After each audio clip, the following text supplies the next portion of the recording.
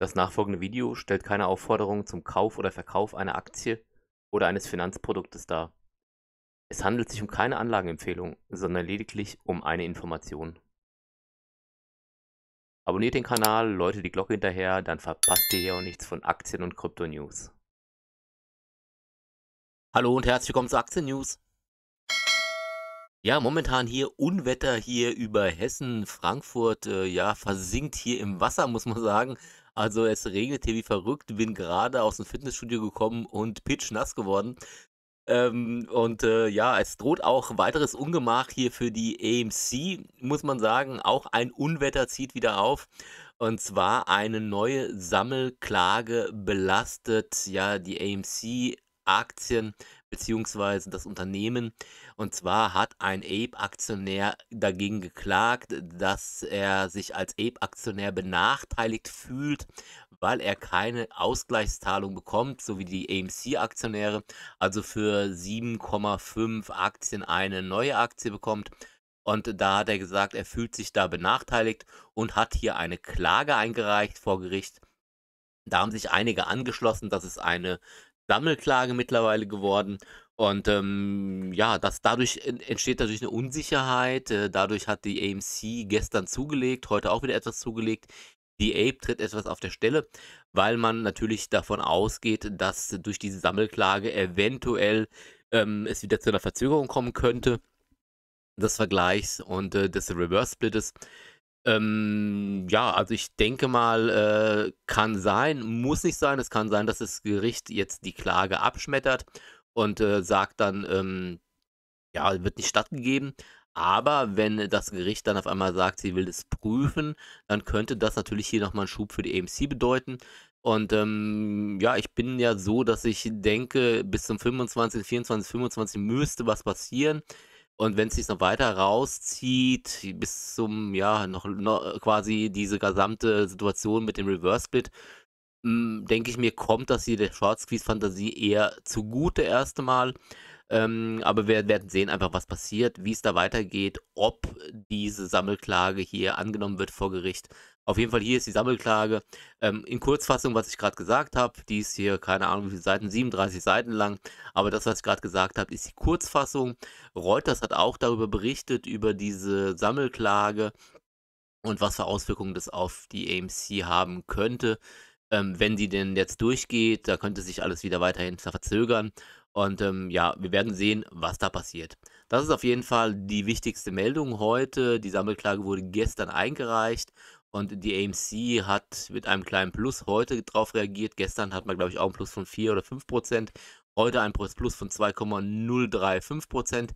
Die Ape, ja, so ein bisschen auf der Stelle tretend, plus minus 0 bei 2,11 Dollar. Ähm, wie gesagt, hat mit der Sammelklage zu tun und äh, ich werde hier auch immer wieder gefragt, ja, warum sollte man jetzt nicht die Ape ähm, ja, die Ape kaufen eigentlich, die AMC verkaufen und die Ape kaufen, weil dann profitiert man ja davon, weil man natürlich mehr dann äh, mehr Ape bekommt als AMC. Und ähm, man würde ja dann eigentlich quasi ähm, ja, sich was Positives damit tun. Ich persönlich werde es nicht machen. Ich behalte meine AMC und ähm, werde ihn nicht umwandeln in Ape, weil ich ja nicht weiß, was alles noch passieren kann. Ihr seht jetzt, dass mit der Sammelklage ist jetzt passiert. Es kann äh, ja innerhalb von den nächsten zehn Tagen viel passieren, ähm, sodass ich das Risiko da nicht eingehen möchte, hier einfach die AMC zu verkaufen und in die Ape umzuwandeln. Außerdem möchte ich auch die AMC nicht den Hedgefonds, den Shortsellern, ähm, ja, einfach so überlassen, weil die würden sich freuen, wenn man hier was verkauft. Wenn ich Ape kaufe, dann ähm, mit frischem Geld, aber nicht als Tausch mit AMC.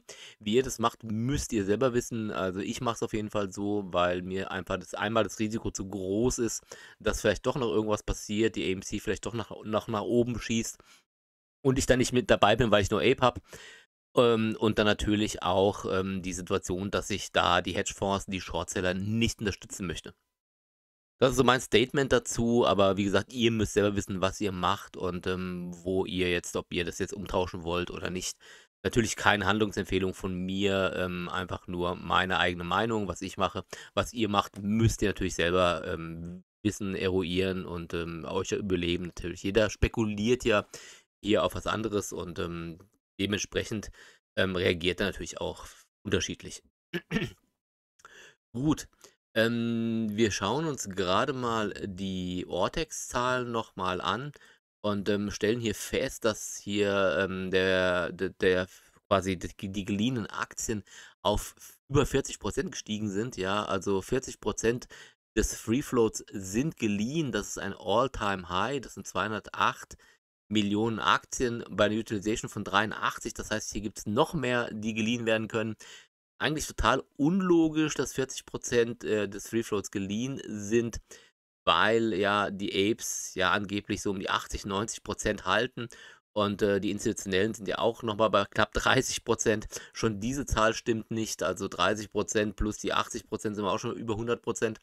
Das stimmt schon mal nicht, ja. Und wenn davon hier noch dann 40% geliehen sind, dann hätten ja die Apes ihre Aktien leihen sollen oder äh, ziemlich viele Apes hätten Aktien geliehen, was ich mir auch nicht unbedingt vorstellen kann. Also das stimmt hier so nicht und ihr müsst euch ja vorstellen, die sind freiwillig gemeldet, die Zahlen. Das heißt, die Zahl ist noch niedrig. Das heißt, es sind noch mehr Prozente vom Free Float geliehen.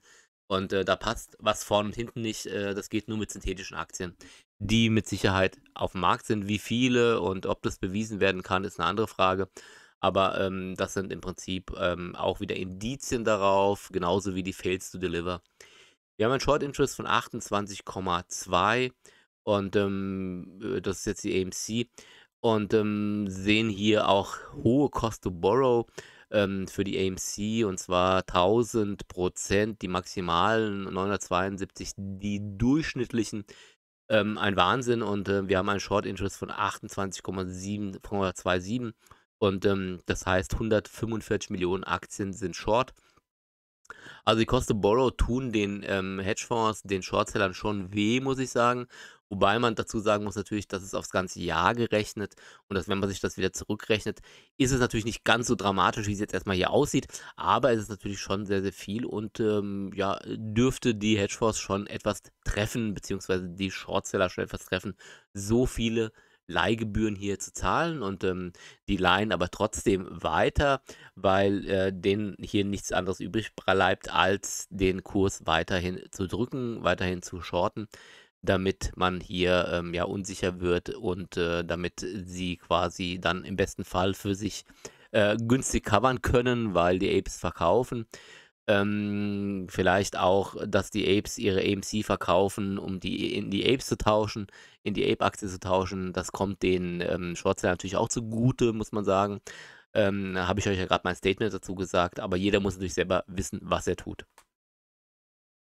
Dann haben wir die Ape, ähm, und zwar sind ja 87 Millionen Aktien geliehen bei einer Utilization von 100. Das heißt, hier gibt es keine mehr zu leihen.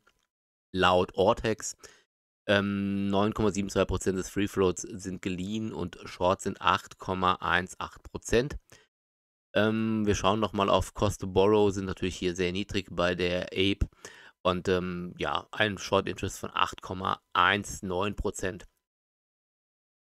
Gut, das waren jetzt so die Infos ähm, von heute. Wie gesagt, die wichtigste Info war die Sammelklage. Da dürfen wir gespannt sein, wie es da weitergeht, was da jetzt noch passiert in diese Richtung. Ich bin weiter dabei für euch und ähm, ja, berichte täglich über die AMC und werde jetzt auch wieder weiter über andere Aktien berichten. Ich war ja die letzten Wochen im Urlaub, bin ja jetzt eigentlich wieder erst seit zwei Tagen wieder hier. Ja, und heute wieder ganz nass geworden vom Regen und haben mich dann natürlich geärgert, haben mir gedacht, Wahnsinn, jetzt jetzt bist du wieder hier und jetzt regnet schon wieder wie verrückt. Ähm, aber gut, ist halt so, hier in Frankfurt regnet es doch öfters mal, beziehungsweise ist immer grauer Himmel und heute hat es mal halt richtig geregnet, heute Abend. Und äh, ich hoffe, dass das jetzt nicht die ganze Woche so weitergeht. Oder den ganzen August so weitergeht. Wir haben ja noch Sommer. Äh, die Temperaturen sind ja recht heiß, aber naja, äh, ziemlich schwül. Weiß nicht, wie es bei euch ist, aber zumindest hier Frankfurt, Hessen ist es auf jeden Fall so. Gut, das war ein kurzes Statement zum Wetter. Ähm, könnt ihr eigentlich auch so einen Wetterkanal aufmachen, wäre auch eine Idee vielleicht. Ja, ähm, mal schauen. Irgendeinen anderen Kanal könnte ich auch nochmal aufmachen. Mal schauen, was ich hier noch mache. Nee, war natürlich nur ein Gag. Ich mache natürlich keinen Wetterkanal auf. Obwohl, wenn ihr wollt, mache ich auch einen Wetterkanal auf. Okay, gut. Ähm, ja, würde mich auf jeden Fall freuen, wenn ihr den Kanal abonnieren würdet und die Glocke hinterher läutet, damit ihr nichts verpasst von AMC, von anderen Aktien und auch Kryptowährungen. Ansonsten lasst es euch gut gehen und wir hören uns wieder. Tschüss.